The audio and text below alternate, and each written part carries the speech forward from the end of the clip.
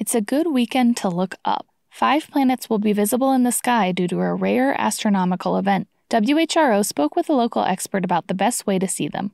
Call it the Age of Aquarius. Jupiter is aligning with Mars, and so are three other planets, plus the Moon. It's called an alignment when planets happen to line up in a row while they're completing their separate orbits around the Sun.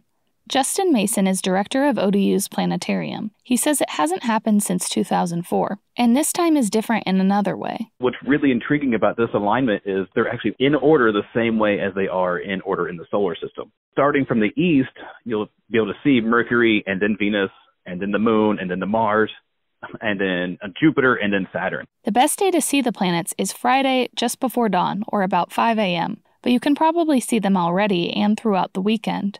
All you have to do is look. These planets are all going to be very bright and very easy to find. They'll be the brightest things going from the east over to the south, and you'll be able to see them in like a almost like a straight line as they work their way across the sky. Mason says if you do have binoculars or a telescope, it's a great time to use them. You may spot more planetary wonders like Saturn's rings or Jupiter's moons. Katherine Hafner, WHRO News.